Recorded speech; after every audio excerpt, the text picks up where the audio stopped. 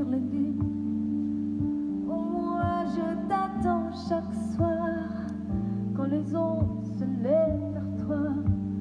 Toi, le gardien de la lune, et moi, la reine des dunes. Planant dans l'espace obscur, criant notre peinture.